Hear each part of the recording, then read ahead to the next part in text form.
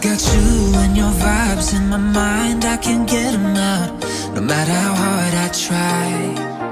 I need you and your heart next to mine. Yeah, I'm all about keeping it you and I. When you're here, you spark chemical reactions. Your aura strikes like lightning. Got no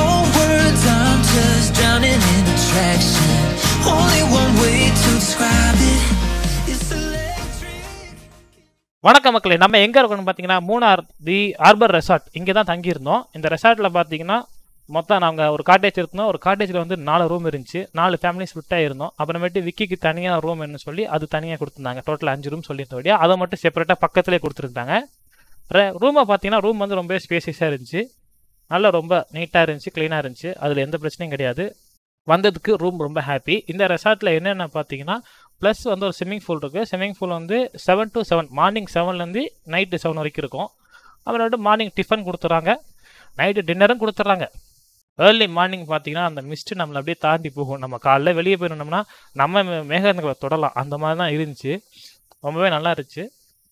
இதெல்லாம் முடிச்சுட்டு நம்ம சாப்பிட்டோம். ஒரு ஏழு மணிக்கா சாப்பிட்டுட்டு சாப்பிட்டு finish பண்ணிட்டு ஒரு ஒம்பது மணிக்கா வெளியே கிளம்பலாம் அப்படின்னு முடிவு பண்ணோம். பட் அன்னைக்கு என்ன ஆச்சு அப்படின்னா சாப்பிட்டு முடிச்சுட்டு ஸ்விம்மிங் பூல் பக்கம் பார்க்கலான்னு போனோம். பட் அங்கே தண்ணியை பார்த்தோன்னே தெரிந்தானே ஒரே குதூகலமாயிரும்.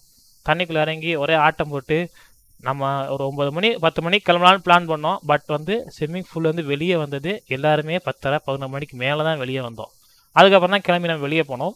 இதெல்லாம் முடிஞ்சு ஓகே இப்போ பார்த்தீங்கன்னா நாங்கள் எடுத்த ரூமுக்கு அப்படியே ஆப்போசிட்டில் வந்து தனித்தனி ரூமாக அஞ்சு ரூம் இருந்துச்சு. நல்ல கொஞ்சம் ஹையில் நான் எங்கள் ரூமோட கொஞ்சம் ஹையில் இருந்துச்சு அது. அது எப்படின்னா ஒரு உடனில் ஃபுல்லாக ஃபினிஷ் பண்ணியிருந்தாங்க. அதை பார்க்கும்போது அந்த ரூம் மிஸ் பண்ணிட்டோமே அப்படின்னு லைட்டாக ஒரு மனசில் ஒரு குறை இருந்தாலும் இந்த ரூமில் எல்லாருமே சந்தோஷமாக ஹாப்பியாக இருந்தோம். அவ்வளோதான் மக்களே. நம்மக்கிட்ட என்ன இருக்கோ அதை வச்சு எப்போவுமே சந்தோஷமாக இருந்தோம்னா நம்ம லைஃபும் நல்லாயிருக்கும் நம்மளும் நல்லாயிருக்கும்.